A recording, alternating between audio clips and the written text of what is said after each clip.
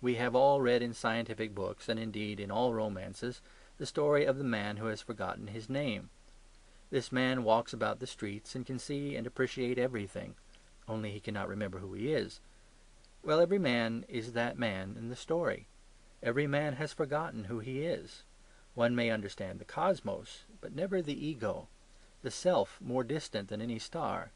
Thou shalt love the Lord thy God, but thou shalt not know thyself. We are all under the same mental calamity. We have all forgotten our names. We have all forgotten what we really are. All that we call common sense and rationality and practicality and positivism only means that for certain dead levels of our life we forget that we have forgotten. All that we call spirit and art and ecstasy only means that for one awful instant we remember that we forget. But though, like the man without memory in the novel, we walk the streets with a sort of half witted admiration, still it is admiration. It is admiration in English, and not only admiration in Latin. The wonder has a positive element of praise. This is the next milestone to be definitely marked on our road through fairyland. I shall speak in the next chapter about optimists and pessimists in their intellectual aspect so far as they have one. Here I am only trying to describe the enormous emotions which cannot be described; and the strongest emotion was that life was as precious as it was puzzling. It was an ecstasy because it was an adventure; it was an adventure because it was an opportunity. The goodness of the fairy tale was not affected by the fact that there may be more dragons than princesses. It was good to be in a fairy tale. The test of all happiness is gratitude, and I felt grateful, though I hardly knew to whom. Children are grateful when Santa Claus puts in their stockings gifts of toys or sweets. Could I not be grateful to Santa Claus when he put in my stockings the gift of two miraculous legs? We thank people for birthday presents of cigars and slippers. Can I thank no one for the birthday present of birth? There were, then, these two first feelings, indefensible and indisputable. The world was a shock, but it was not merely shocking. Existence was a surprise, but it was a pleasant surprise. In fact, all my first views were exactly uttered in a riddle that stuck in my brain from boyhood. The question was, what did the first frog say? And the answer was, Lord, how you made me jump! That says succinctly all that I am saying. God made the frog jump but the frog prefers jumping. But when these things are settled, there enters the second great principle of the fairy philosophy. Any one can see it who will simply read Grimm's Fairy Tales or the fine collections of Mr. Andrew Lang. For the pleasure of pedantry I will call it the doctrine of conditional joy. Touchstone talked of much virtue in an if. According to elfin ethics, all virtue is in an if. The note of the fairy utterance always is, "You may live in a palace of gold and sapphire if you do not say the word cow"; or "You may live happily with the king's daughter if you do not show her an onion." The vision always hangs upon a veto. All the dizzy and colossal things conceded depend upon one small thing withheld. All the wild and whirling things that are let loose depend upon one thing that is forbidden.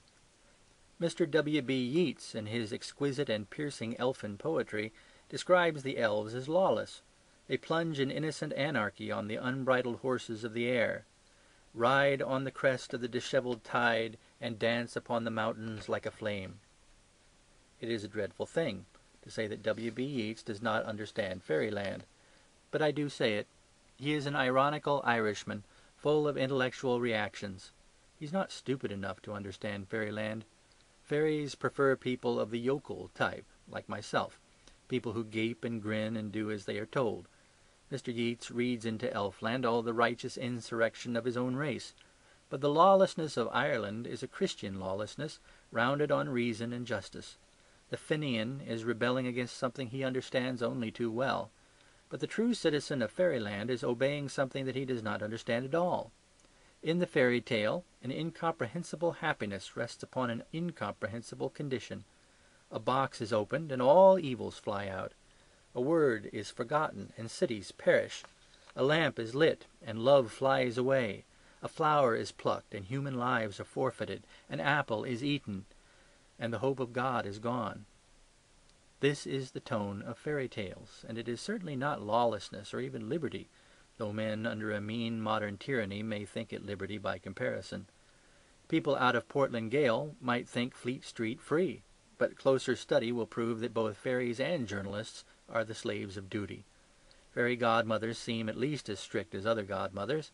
Cinderella received a coach out of Wonderland and a coachman out of nowhere, but she received a command (which might have come out of Brixton) that she should be back by twelve. Also she had a glass slipper; and it cannot be a coincidence that glass is so common a substance in folk lore. This princess lives in a glass castle, that princess on a glass hill, this one sees all things in a mirror. They may all live in glass houses if they will not throw stones. For this thin glitter of glass everywhere is the expression of the fact that the happiness is bright but brittle, like the substance most easily smashed by a housemaid or a cat. And this fairy tale sentiment also sank into me, and became my sentiment towards the whole world. I felt and feel that life itself is as bright as the diamond, but as brittle as the window pane. And when the heavens were compared to the terrible crystal, I can remember a shudder. I was afraid that God would drop the cosmos with a crash. End of chapter 4, part 1.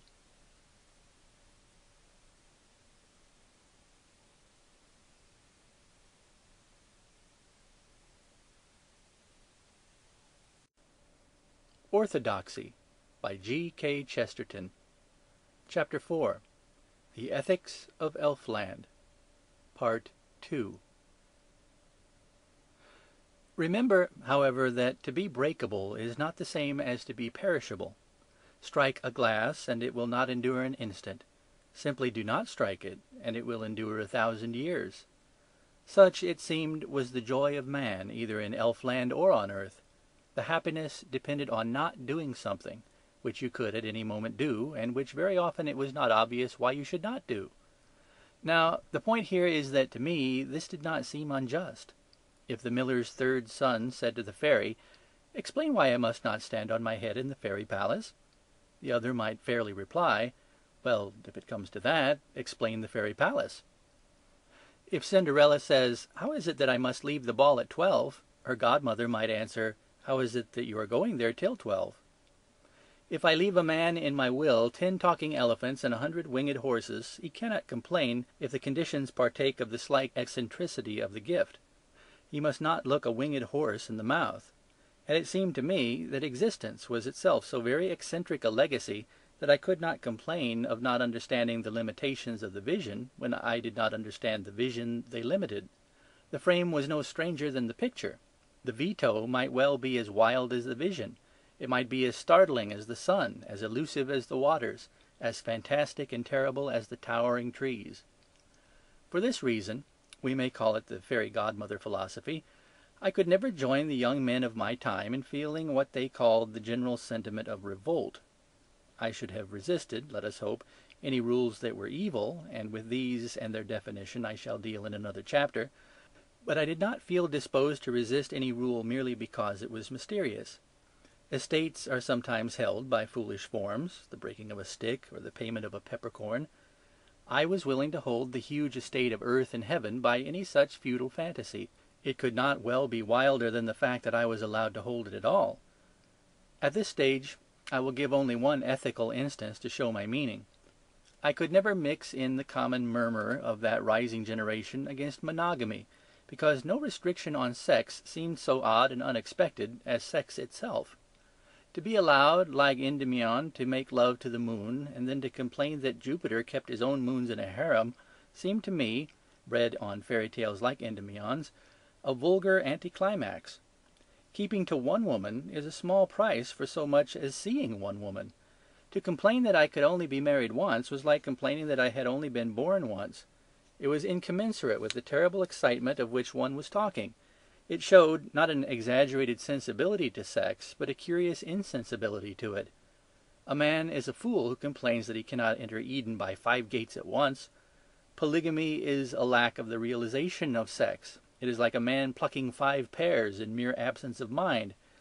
The aesthetes touch the last insane limits of language in their eulogy on lovely things. The thistledown made them weep, a burnished beetle brought them to their knees.